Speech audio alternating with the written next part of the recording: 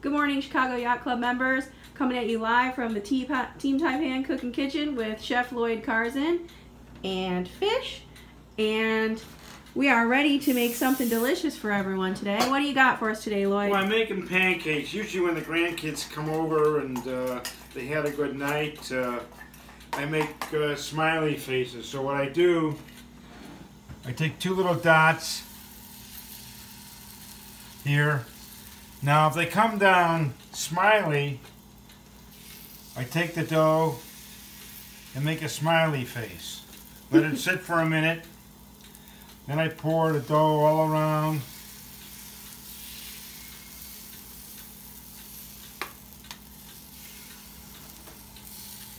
And then when you flip it over,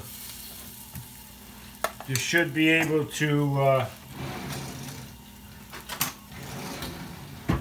see the uh, How do you know when to flip?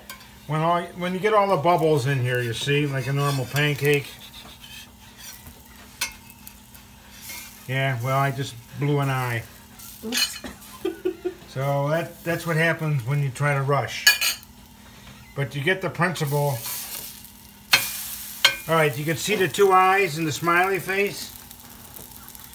And that, and uh, when that's done, put it on the plate.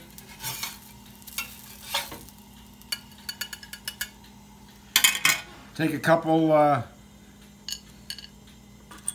chocolate chips. Now, on the other time, when the kids come down and they're not too happy, I do this, the same effect. I'll just make a little bit bigger here so we can see. And I may make a grumpy mouth. So you get the idea. Leave it sit a minute. I hope I get it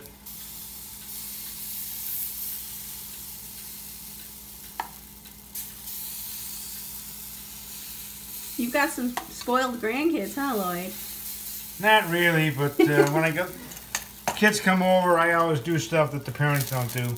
Let them stay up all night, watch TV, and I don't care what time they go to bed as long as I get up when I count.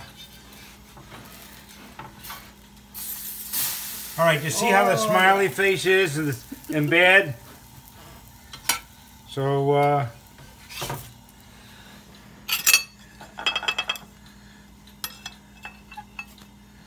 here's what that looks like.